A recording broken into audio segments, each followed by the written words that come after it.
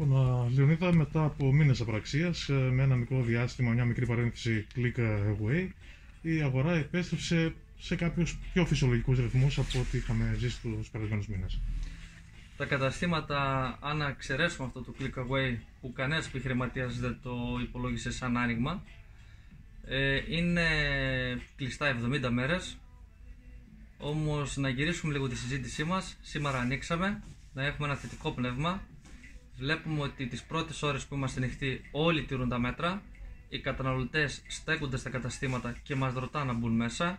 Εμείς προσπαθούμε να κάνουμε μια διαχείριση του κόσμου στους χώρους μας, διότι σε αντίθεση με την προηγούμενη φορά, στο πρώτο lockdown, όταν ανοίξαμε τα καταστήματά μας, η χωρητικότητα των καταστημάτων βάσει τετραγωνικών δεν υπολογίζονταν με το προσωπικό. Αυτή τη στιγμή έχουμε μια αλλαγή όπως έχετε ενημερωθεί, υπολογίζεται και το προσωπικό.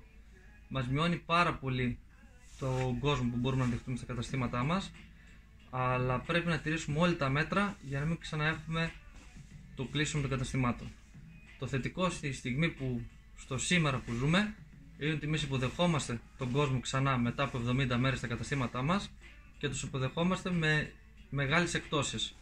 Κινούμαστε από 35% μέχρι και μισή τιμή ας το δούμε λίγο θετικά, ας το δούμε σαν ένα πάρτι, ας μου επιτραπεί για να αλλάξει η ψυχολογία μας, ότι γυρνάμε στην καθημερινότητά μας με μεγάλες προσφορές για τους καταναλωτές.